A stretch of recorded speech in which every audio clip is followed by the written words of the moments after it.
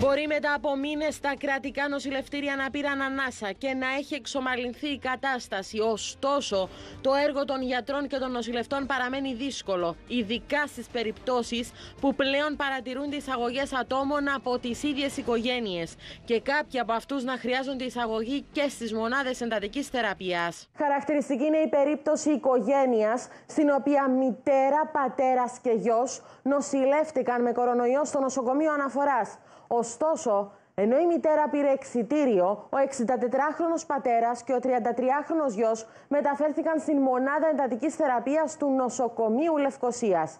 Σύμφωνα μάλιστα με ασφαλείς πληροφορίες του ΟΜΕΓΑ, στο νοσοκομείο νοσηλεύεται και ο παππούς, αλλά σε θάλαμο COVID. Η κατάσταση της υγείας του 64χρονου και του 33χρονου παρουσίασε ραγδαία επιδείνωση, με αποτέλεσμα να χρειαστεί να διασωληνωθούν σε διάστημα λίγων ωρών και να μεταφερθούν στη ΜΕΘ του νοσοκομείου Λευκοσίας. Όλη η οικογένεια ήταν ανεμβολιαστή. Ευτυχώς ο πατέρας έχει αποσωληνωθεί και έχει μεταφερθεί στον ουρολογικό θάλαμο, δηλαδή στον θάλαμο COVID ε, και ο γιος συνεχίζει διασωληνωμένος στη μονάδα εντατικής θεραπείας. Η κατάστασή του είναι σταθερή, είναι μεν σοβαρή, αλλά ευελπιστούμε ότι στο τέλος της ημέρας θα τα καταφέρει και αυτός, ώστε να αποσωληνωθεί και να μεταφερθεί σε έναν κοινό θάλαμο. Παρόμοια περιστατικά καταγράφηκαν και στο νοσοκομείο Λεμεσού, όπου αυτή τη στιγμή νοσηλεύεται ανδρόγυνο ηλικιωμένων επίσης ανεμβολίαστη με κορονοϊό, ενώ πριν από λίγες ημέρες χρειάστηκε να νοσηλευτούν τρία μέλη από την ίδια οικογένεια. Το φαινόμενο το να βλέπουμε οικογένειες